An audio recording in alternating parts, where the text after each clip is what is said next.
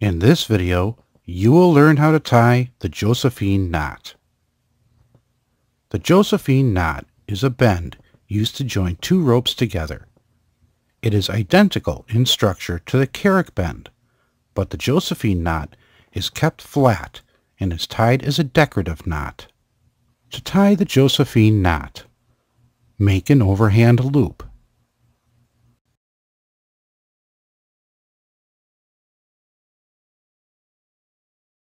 Lay the second rope across the overhand loop. Bring the second rope under the standing part of the first rope. Now put the end of the second rope over the end of the first rope.